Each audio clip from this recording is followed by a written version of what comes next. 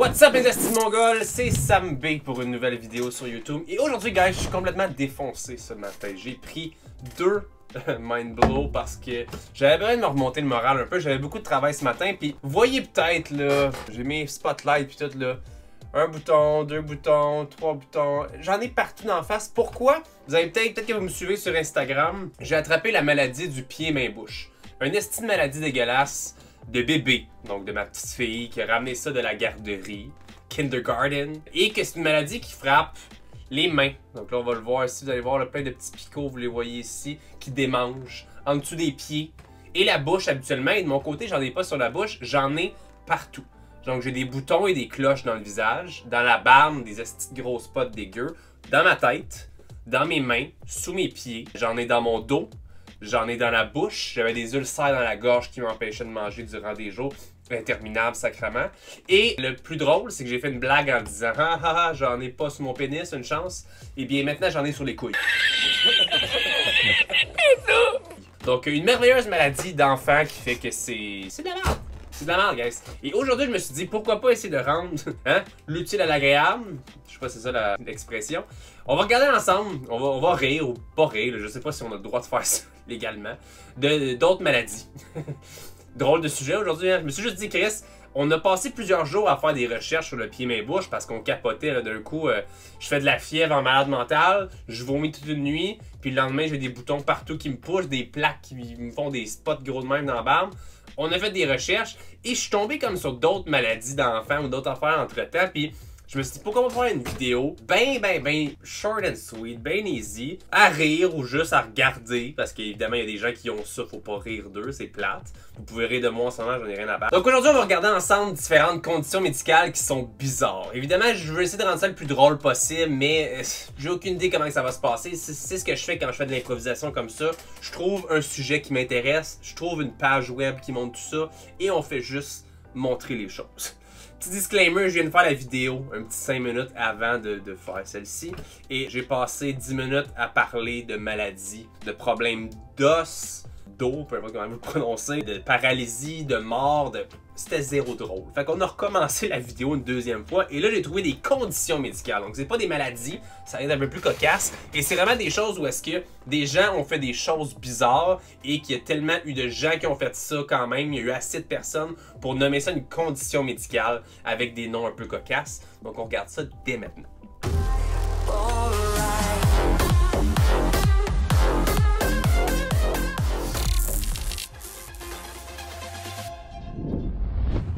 Donc, 10 conditions médicales étranges mais réelles. Si on regarde la page ensemble ici, on a le premier syndrome qui est le syndrome de Jérusalem. À moins que vous, n'ayez déjà lu les mémoires du comédien Marc Maron, vous ne savez sûrement pas grand-chose sur ça, blablabla. Bla, bla. La condition peut affecter n'importe qui. Elle se déclenche lorsqu'on visite la Terre sainte de Jérusalem et qui déclenche des idées obsessionnelles sur la religion et même des illusions messianiques. Les symptômes peuvent inclure un nettoyage et une toilette compulsive, le port de robes blanches et des sermons. Les personnes sans troubles psychotiques préexistants reviennent généralement à la normale dans les 5 à 7 jours.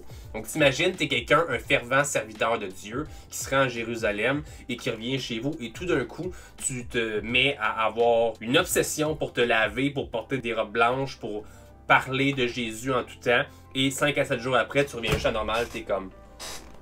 Tabarnak! Deuxième syndrome du cadavre ambulant. Donc là, évidemment, comme ils disent, on parle pas de Walking Dead ici, mais on dit qu'il s'agit d'un trouble neuropsychiatrique dans lequel une personne croit qu'elle est morte ou qu'il manque son âme, ses organes, son sang ou certaines parties de son corps. La maladie de Cotard a été reconnue comme une composante des maladies psychotiques comme la dépression, mais la neuroimagerie a également été un lien, établi un lien entre certains cas de Cotard et des changements neurologiques. C'est tellement rare qu'il est difficile d'identifier les mécanismes.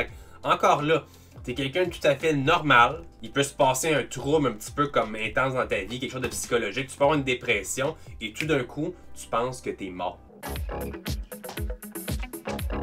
penses que t'es pas là, tu penses que tu te promènes sur Terre et que t'es mort ou que ton âme a disparu, puis que t'es juste un corps ambulant, puis que je pense, je sais pas dans quelle série que j'ai vu ça dernièrement, mais c'est fou pareil qu'est-ce que le cerveau peut faire que juste un trop gros trouble psychologique d'un coup, un trop gros événement te ramasser à te faire passer pour un personnage de Walking Dead. Syndrome de l'accent étranger, j'ai vu ça dernièrement, c'est assez cocasse. C'est une maladie dans le fond qui te qui pousse les gens à développer un accent étranger. Bon, le nom donne un petit peu l'impression que tu parles carrément une autre langue, comme si moi je me réveille demain puis que je suis là. Si, si, una cerveza, por favor? Non, c'est pas ce qui va se passer au final. C'est juste que, dans le fond, c'est un ACV ou quelque chose, de même un AVC, pardon, ou quelque chose, une tumeur, un traumatisme, peut faire que la personne, tout d'un coup, a la difficulté à parler et qu'on a l'impression qu'elle parle une autre langue tout à coup. C'est pas comme si elle se mettait à bégayer ou c'est vraiment comme si t'as envie de dire quelque chose puis que ton cerveau est là, fuck you, puis il dit carrément autre chose. Donc ça a l'air que c'est très difficile pour les gens de venir mettre qu'est-ce qu'ils ont dans la tête. Donc tu penses de la bonne façon, mais ta bouche fait carrément autre chose. Donc tu sais, il se passe un AVC qui peut être arrivé à n'importe qui, puis que tu veux juste te dire maman, je veux un sandwich, puis t'es là, ah, Saut d'obstacle français du Maine, le syndrome comme ça, ça a été trouvé en 1870 alors que des Canadiens français, Calis, des Québécois, également connus sous le nom d'hyperexplessie, elle euh, implique une réaction extrême aux stimuli qui provoquent des sauts incontrôlables et des chutes induites par le sursaut. La plupart des gens ressentent les premiers symptômes juste après la naissance, une condition appelée syndrome du bébé raide. Le syndrome peut souvent être traité efficacement avec des benzodiazépines. Fait au final, une maladie souvent quand t'es né, mais qui peut aller n'importe quand dans ta vie, qui te donne une envie irrésistible de sauter sur place en tout temps et qui évidemment peut provoquer des chutes. Mais Chris, t'es juste là, tu te promènes nowhere, puis faut, faut que tu sautes. Hey. Salut, ça va? Salut! Oh, ouais! On va te prendre une petite bière? Ouais! Je suis carrément défoncé en ce moment, guys. Je...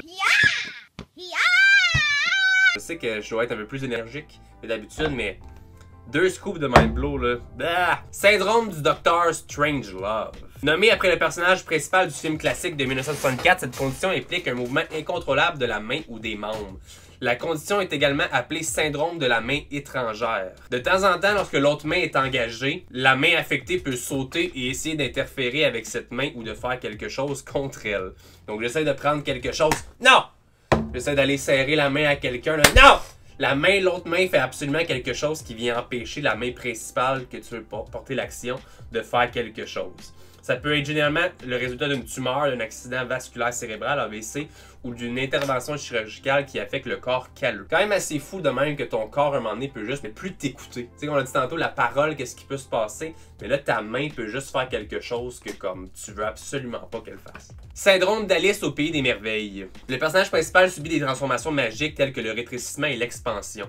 Ce syndrome neurologique, également appelé syndrome de Todd, présente généralement des migraines qui déforment la perception de la taille et de la distance.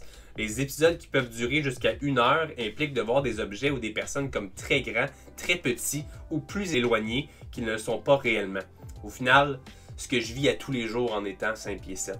Les patients peuvent également ressentir des hallucinations ainsi qu'une impression inexacte du temps qui passe très lentement ou très rapidement. Assez fucked up. La langue géographique. Ce syndrome au nom étrange implique des symptômes buccaux semblables à ceux du psoriasis, dans lequel des lésions inoffensives mais potentiellement douloureuses se développent sur la langue.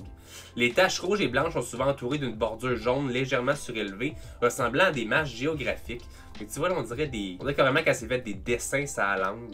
Ça, c'est fait naturellement. La cause est inconnue. Les situations et conditions produisant du stress, y compris les allergies, les troubles hormonaux, les carences nutritionnelles, blablabla, peuvent alimenter ce type de syndrome-là. Fait que ton corps, t'es là, t'as une session difficile à l'université, tu te mets stressé avant d'aller faire un oral devant la classe, et boum, tu te mets à te ramasser avec la capitale de l'Europe, whatever, la capitale de la France, directement, c'est la langue. Ah, je l'ai pas dit, hein, j'ai des boutons sur la langue aussi. Cool, hein?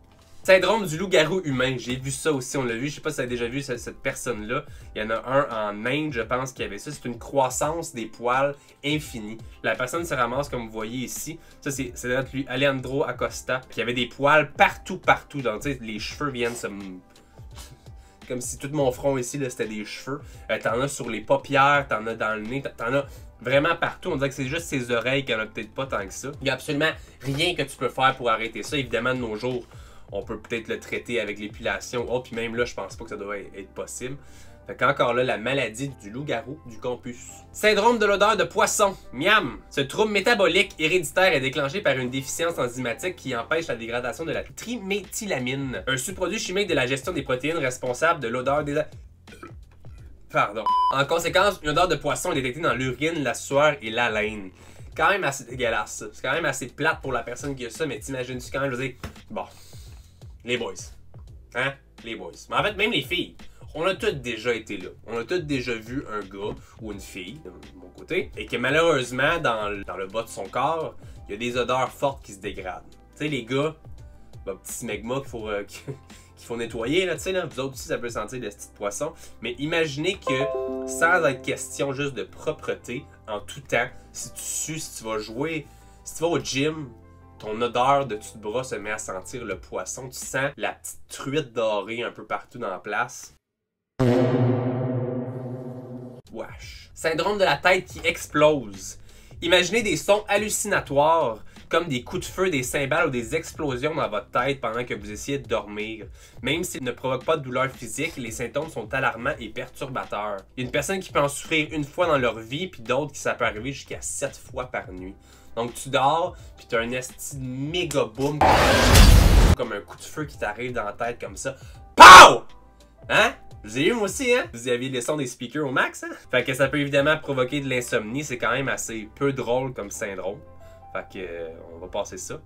Et toi, tu as quoi? On finit avec ça au final. Toi, qu'est-ce qui se passe dans ta vie de smart? As-tu déjà eu le pied main bouche comme moi? As-tu une de ces maladies-là? As-tu d'autres maladies cocasses?